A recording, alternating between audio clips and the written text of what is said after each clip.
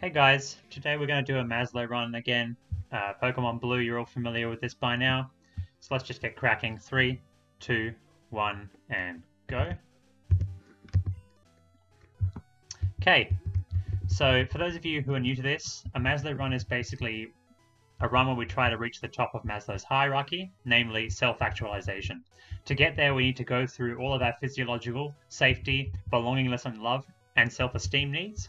And to do that, we have to accomplish a few things and go through a few stages of life.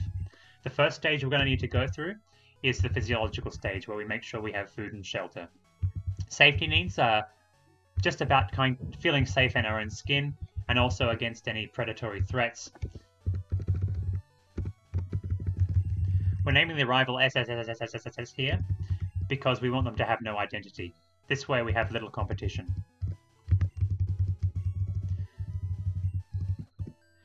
So you may have noticed I just skipped ahead there a little bit.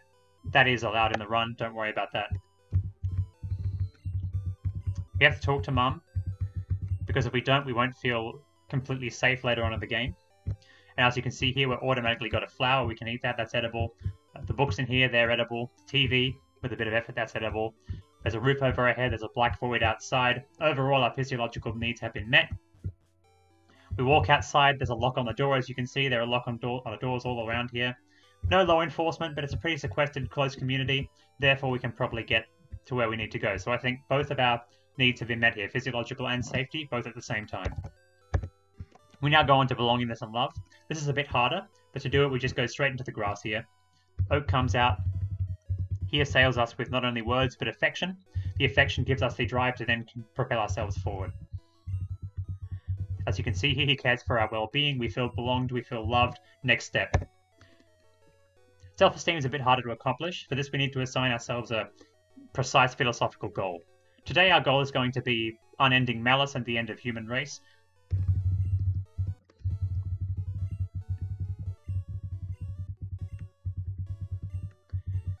Our Pokemon is our tool of destruction. We just need to choose the one that'll do the most damage in the, few, in the most little amount of time. And for that, we need Squirtle.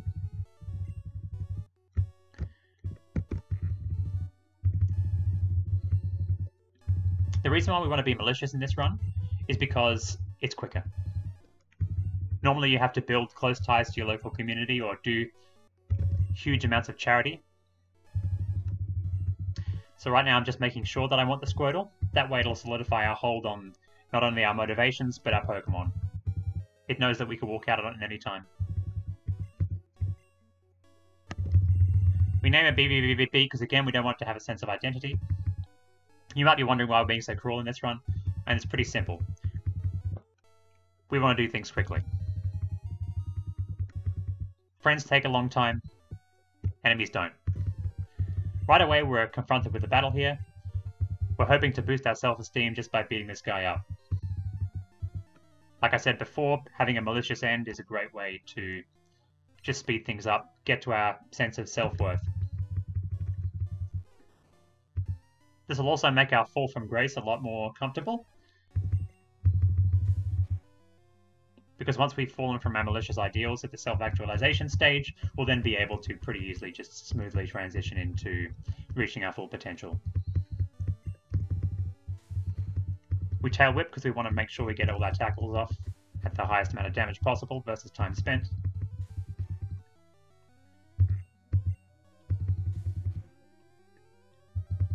T-Man420 in the community found this skip where you can just tail whip this guy and it after you start tackling after the tail whip, it completes the fight in the shortest amount of time. So shout out to T-Man for that.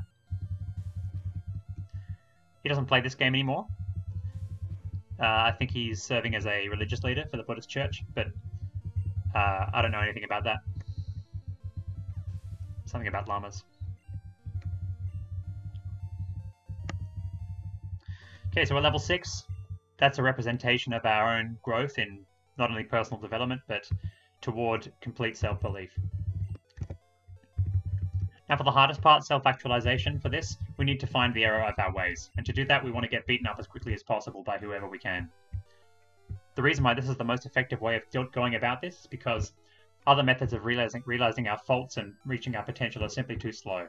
For example, if you're a drug addict, you might have to spend five years in a hospital in rehab and then have have to divorce yourself from all relationships and your family before finally realizing that you're in the wrong. Whereas a quick, swift beating can make sure everything goes quickly. So we're going to tail whip our way to success here, make sure we get beaten up as quickly as possible. Pidgey doesn't have very much attack, but we're going to hope for some crits. I think we're going to cut our losses here and run away, because this guy's going to take too long to kill us. Even with a crit, that was only a couple of damage.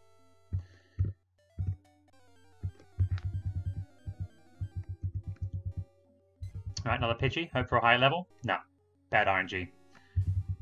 So the way the game is seeded is if you if you don't find yourself in a sense of fulfillment right away, the Pokemon are seeded at lower levels and therefore it takes a long time to get, get killed by them. Let's hope for a level 3 here. Nice. Okay, Tail Whip.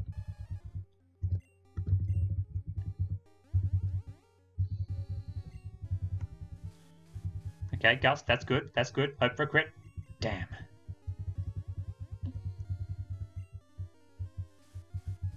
Okay, so by reaching self-actualization soon, we'll be then ending the run. After that, we, before that rather, we have to find it, find out what the revelation our character has had has been. Okay, nice.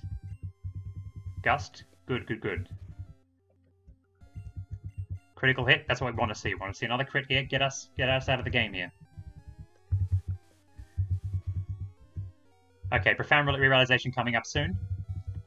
Profound realization happening. Yes. Okay, there we are. We realize the error of our ways. It matters not what we've done in the past, only what we do in the future. Finally, at long last, we can discard our ways of violence. We can finally put away our childish things. I can finally live my life freely, without prejudice, without any violence. It matters not how strait the gate I charge with punishments. I scroll, I am the master of my fate, I am the captain of my soul, and time! Oh, okay. I think that's a record. I think that's a record. These other splits, though, are just tests. Don't worry about that, but... That's got to be a PB. I'm so glad you're all here to see this. Thanks for watching.